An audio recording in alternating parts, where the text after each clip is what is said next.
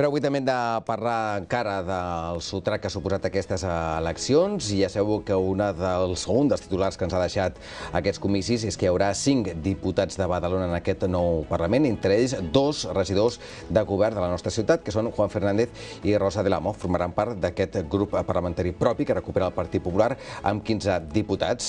Avui ens acompanya Juan Fernández, primer tinent d'alcalde i ara també diputat al Parlament de Catalunya. Bona tarda. Bona tarda. Què tal? Molt bé. Per cert, em deia el Juan Fernández que és Cohin. Sí. No és sí, Cohen. Sí, oi? sí, és així. Ho dic perquè el Miquel López, que se les fa tant de saber anglès, doncs és Cohin, no Cohen. Bé, Juan Fernández, eh, felicitats, primer de tot, Moltes per gràcies. aquests resultats eh, que donen doncs, aquests 15 escons, i a més a Badalona crec que també esteu prou satisfets pels resultats, perquè recupereu aquesta segona força. Sí. a la ciutat i tripliqueu els resultats de respecte al 2021, malgrat que els socialistes han guanyat a la majoria de barris, cosa que a Badalona ja passa, no? que en funció de les eleccions la gent vota molt diferent. Bueno, fa molts anys que el Partit Socialista guanya a Badalona a les accions eh, generals, a les catalanes, però després a municipals vota diferent eh, i vota massivament i majoritàriament a Xavier Casalbiol, no? Però sí que és veritat que en aquestes eleccions hem vist un canvi de tendència. A les últimes catalanes, a l'any 2021, vam quedar setena força política a la ciutat, setena força política, i estàvem nosaltres governant en aquell moment, no? Però ara, també governant, hem vist com de la setena força hem ascendit a la segona força, triplicant en número de vots i en número de percentatge de vot, eh, i això és una molt bona notícia. Igual que eh, és una bona notícia pues, que dos membres del govern, dos membres del plenari de la ciutat estiguin també al plenari de, del Parlament. Ara, ara li preguntaran segurament a la tertúlia, però eh, tant eh, PSC com Guanyem, com Esquerra s'han mostrat una mica eh, recelosos que puguin fer compatible la seva feina com a diputats, tant vostè com Rosa de l'Amo, amb la feina a l'Ajuntament de Badalona. De fet, els socialistes han demanat fins i tot que es reformuli o que refaci el govern eh, per, eh, vaja, per fer compatible les dues tasques. Eh, això es farà?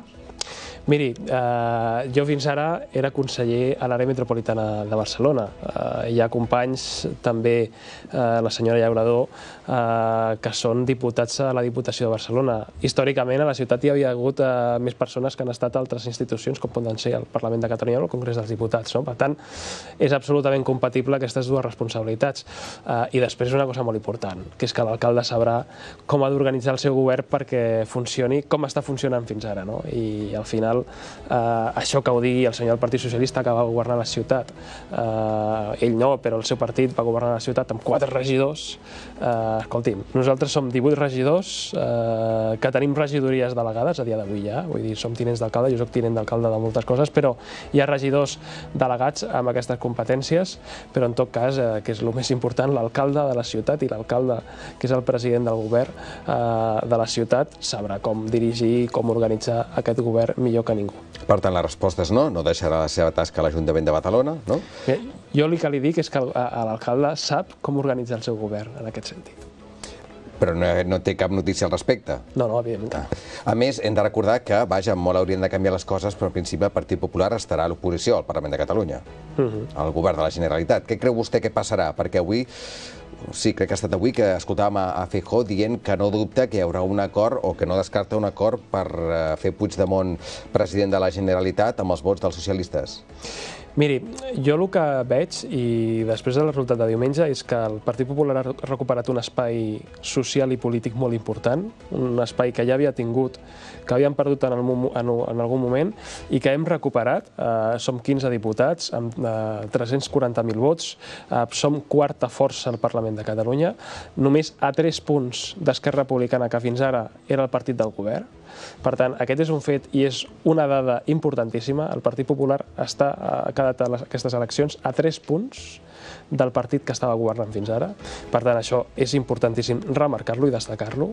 Eh, hem eixamplat la base política i la base social estem recuperant el terreny i en aquest sentit som l'única alternativa constitucionalista que està en el Parlament de Catalunya.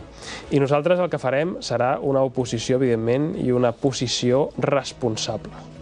No? amb Catalunya i amb la resta d'Espanya. Uh, les intencions del Partit Socialista mm, en els propers dies la, la veurem, no?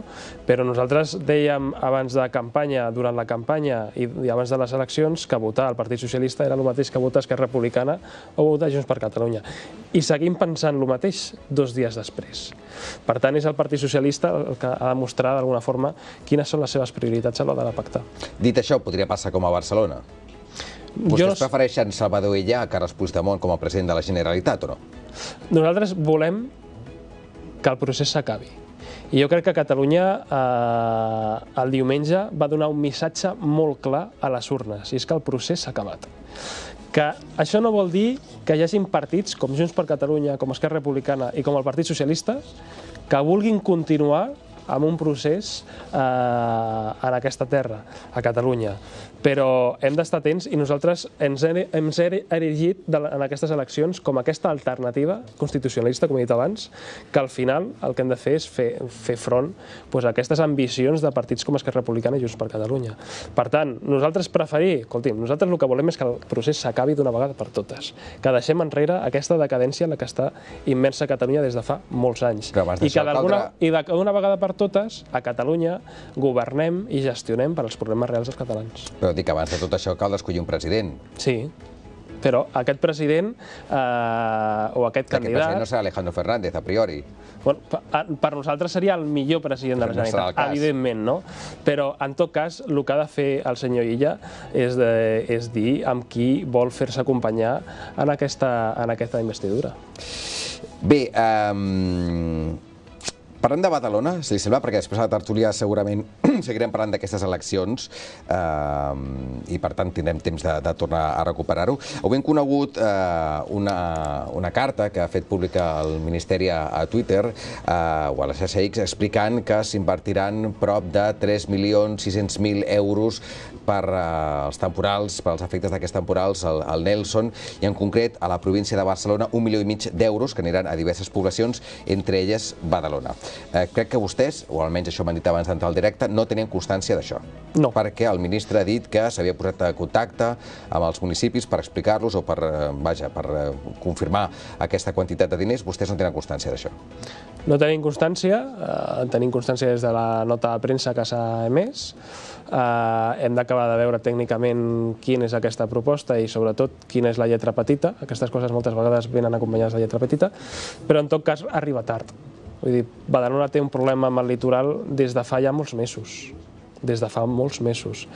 I el que fa falta a Badalona és actuar de forma immediata, sobretot per salvar la temporada de bany, que la tenim eh, aquí a tocar, sí. a tocar, no? Per tant, falta un mes per aquesta temporada de bany i necessitem actuacions ràpides que, d'alguna forma, eh, endrecin la nostra platja i que regenerin la sorra que hem perdut amb els últims temporals, no només amb el Nesson, sinó des de fa uns quants anys. Però, per tant, no sabem la quantitat d'aquest no. milió i mig, no ho sabem. No, no sabem que és un milió i mig, diguem-ne, per la part que toca pues, a, a Badalona i als municipis de l'entorn. Però això és per posar sorra, en principi? No ho sabem, no tenim Perquè la, estic no buscant una pilada que ha fet l'alcalde avui, diu eh, Badalona necesita de manera urgente arena para nuestras playas, si se lleva a cabo, como dicen, seré el primero en reconocer públicamente el cumplimiento de la palabra dada por el secretario de Estado del Gobierno. Absolutament.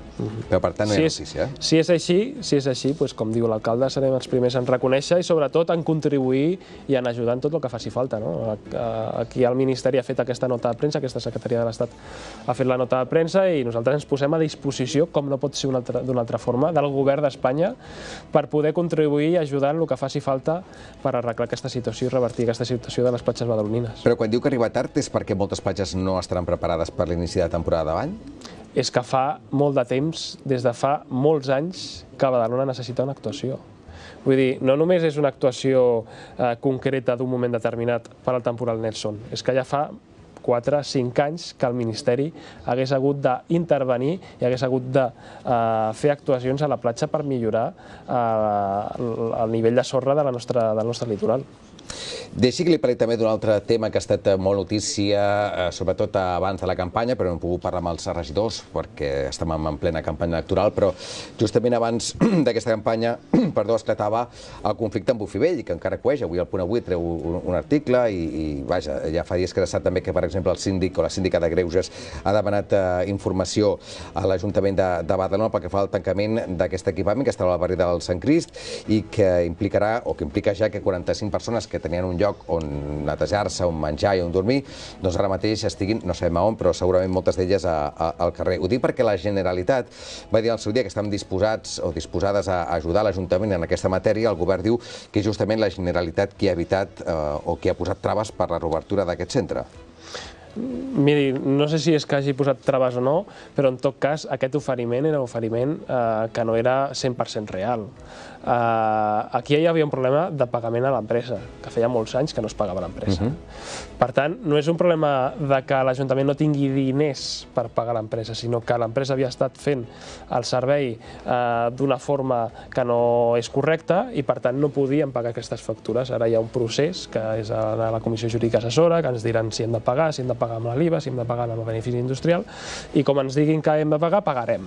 Però, en tot cas, l'empresa no podia sostenir més temps obert al centre sense cobrar i això no podia passar de forma immediata. La Generalitat no és que ens donés els diners per pagar, és que no volia fer-se càrrec, nosaltres li vam oferir a la Generalitat, bueno, feu-vos càrrec d'aquest servei, assumiu-lo eh, com a institució, però no va voler. Per tant, eh, la, aquest oferiment de la Generalitat no va ser tan bo com ells venen que ha estat. En tot cas, eh, no hi ha previst reobrir-lo, no. aquest centre. Vostè ja ho va dir i... No, no, es, es farà un servei eh, similar però amb un altre format absolutament diferent, perquè nosaltres tenim clar com a govern que necessitem un parc públic d'habitatge de lloguer social i de lloguer assequible. Pues, dins d'aquest lloguer social, evidentment, s'ajudaran a totes les persones que tinguin problemes eh, habitacionals en aquest sentit. Clar, però una cosa és un lloguer social, que és persones que tenen uns ingressos molt baixos no? i que no es poden pagar un pis, i l'altra és persones que entenc que no tenen ingressos i que per això dormen al carrer. Sí, però miri, la, el servei d'alberg és un servei que no es pot eternitzar. Nosaltres no li podem donar sostre a una persona de per vida, de forma gratuïta.